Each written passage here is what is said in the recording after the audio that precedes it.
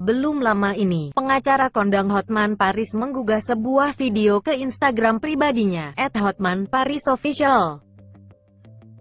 Dalam video tersebut, Hotman tampak sedang bersama dengan artis Nikita Mirzani. Hotman dan Nikita terlihat sedang berada di dalam sebuah mobil mewah. Mobil mewah tersebut ternyata milik Hotman Paris.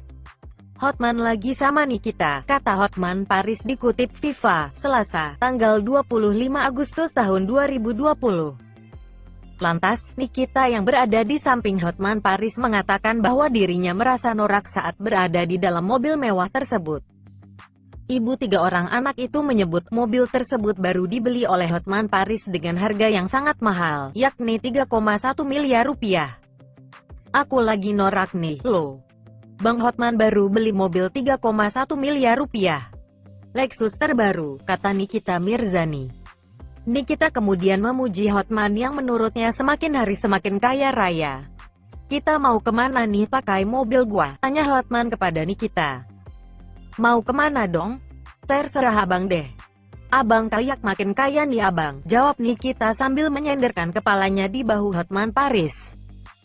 Lebih lanjut, Nikita Mirzani terlihat memuji mobil baru milik Hotman Paris tersebut. Ia menyebut kalau harga 3,1 miliar rupiah sangatlah mahal. Hotman menjelaskan bahwa awalnya mobil tersebut memiliki harga di kisaran 2 miliar rupiah. Bagus loh ini. Benar deh. Ini mahal banget, bang.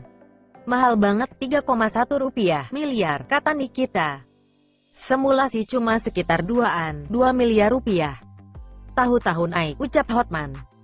Melalui caption yang ditulis dalam unggahan tersebut, Hotman Paris menjelaskan bahwa dirinya dan Nikita Mirzani sudah enam bulan tidak bertemu. Nikita kangen Hotman setelah enam bulan TDK temu, tulis Hotman. FIFA, tidak jadi bagaimana menurut Anda?